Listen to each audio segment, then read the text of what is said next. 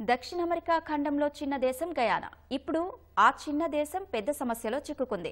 గయానాలోని సహజ వనరులపై కన్నేసిన వెనజులా యుద్ధానికి కాలు దువ్వుతోంది. ఆర్థిక సంక్షోభంలో కొట్టుమిట్టాడుతున్న వెనజులా చూపు చమురు నిల్వలకు కేంద్రమైన గయానాలోని ఎసెక్ విబో ప్రాంతంపై పడింది. దశాబ్దాలుగా ఆ ప్రాంతం తమదే అని వాదిస్తున్న వెనజులా ఈ చమురు నిల్వలున్నాయన్న వార్తలతో ఇప్పుడు యుద్ధం చేసైనా దాన్ని దక్కించుకోవాలని చూస్తోంది. ఈ పరిస్థితిలో దక్షిణ అమెరికాలో యుద్ధ మేఘాలు కమ్ముకున్నాయి.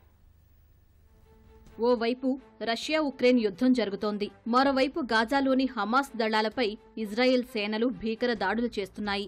ఇప్పుడు మరో యుద్ధమంటూ వస్తున్న వార్తలు ప్రపంచాన్ని ఉలిక్కిపడేలా చేస్తున్నాయి. దక్షిణ అమెరికా ఖండంలోని చిన్న దేశం గయానాలోని ఎసెక్విబోలోని చమురు నిల్వలను సొంతం చేసుకోవడమే లక్ష్యంగా వెనుజులా కథనానికి కాలు దువ్వుతోంది. ఎసెక్విబో ప్రాంతంలో చమురు నిల్వలు సమృద్ధిగా ఉన్నాయి. రెండు వేల పదిహేను నుండి ఇక్కడ జరిపిన అన్వేషణలు పదకొండు బిలియన్ బ్యాలర్ల చమురు నిల్వలు బయటపడ్డాయి.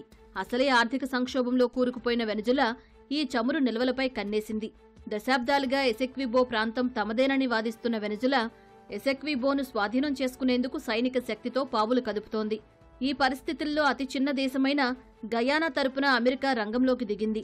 గయానా సైన్యంతో కలిసి వెనుజులా సరిహద్దుల్లో సైనిక విన్యాసాలు నిర్వహించింది.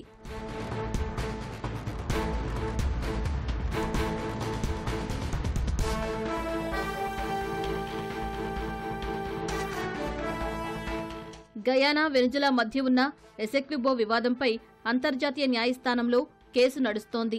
ఈ క్రమంలో వివాదాన్ని అక్కడే తేల్చుకోకుండా వెనుజులా సైనిక శక్తిని ప్రయోగిస్తుండడం కలకలం రేపుతోంది.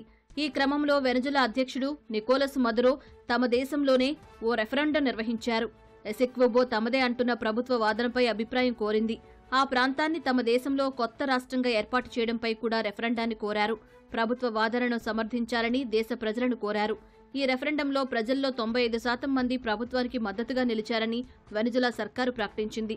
ఈ రెఫరెండం నిర్వహించిన వెంటనే ఆ ప్రాంతాన్ని గయానా ఎసిక్విబా పేరిట వెనుజులాలో నూతన రాష్ట్రంగా చూపుతూ కొత్త మ్యాప్లను వెనుజులా ప్రభుత్వం విడుదల చేసింది.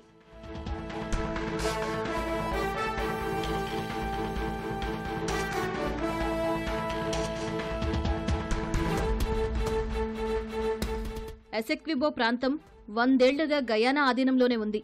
ఈ వివాదాన్ని ఇంతటితో వదిలేస్తున్నట్లు రెండు వేల నాలుగులో అప్పటి వెనుజులా అధ్యక్షుడు హ్యూగో చావేజ్ ప్రకటించడంతో పదేళ్ళ పాటు ఉద్రిక్తతలు చల్లారాయి.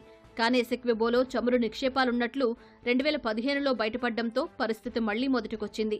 చమురు నిల్వలపై కన్నేసిన వెనుజులా అధ్యక్షుడు నికోలస్ మదరో ఎసెక్విబో తమదేనని వాదించడం ప్రారంభించారు.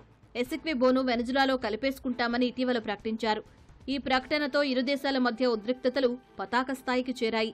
దట్టమైన అడవులతో ఉండే సిక్వెబోపై దాడి చేయాలంటే సముద్ర మార్గమే వెనుజులాకు మార్గం.